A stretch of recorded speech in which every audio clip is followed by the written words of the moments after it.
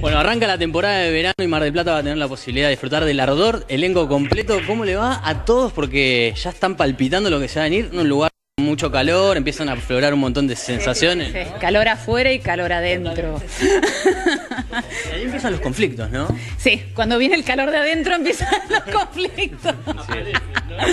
Sí, sí, sí, es Sí. una familia. Bueno, vos contás. No, no, y por sobre todo una familia que está un tanto estancada y explotada al mismo, Sí. al mismo tiempo.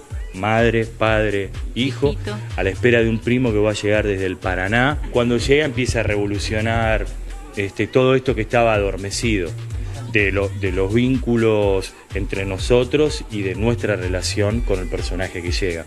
O sea que sos eh, el, el punto de, de- de desencadenar todo este conflicto, digamos, o por lo menos de replantarse un montón de cosas.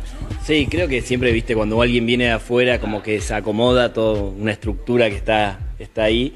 Y, lo que hace de repente ser más silvestre, más sincero, más honesto con, con esos sentimientos eh, más eh, animales. Y bueno, empieza a despertar, a pesar de él a veces, despertar en cada uno ciertas sensaciones o de conflicto o de deseo.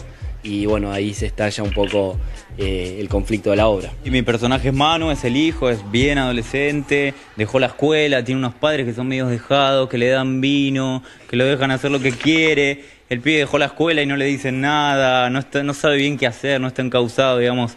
Hay amor, pero falta el condimento del límite. Este, bueno, y este primo llega y empieza a despertar en Manu también algunas sensaciones que estaban ahí medio dormidas. Y bueno, empieza a arder ese ardor y a aparecer los conflictos. ¿no? Ah, ¿Cuándo arrancan y dónde? Arrancamos el 5 de enero en el auditorium a las 21 horas o 21.30. 21. 21 horas, arrancamos ahí. Viernes, ya a partir de ahí estamos los viernes, los sábados y los domingos, todo enero y todo febrero, con muchas ganas de veranear, con muchas ganas de hacer teatro, hacer lo que nos gusta. Entramos todos en esta baldosa, así que tenemos que llenar el auditorium. Mil personas por función, así que los esperamos gratamente a disfrutar del teatro. Precios digo. muy accesibles, eh, es muy Bien, importante con- decir eso también. Con descuentos para estudiantes y jubilados.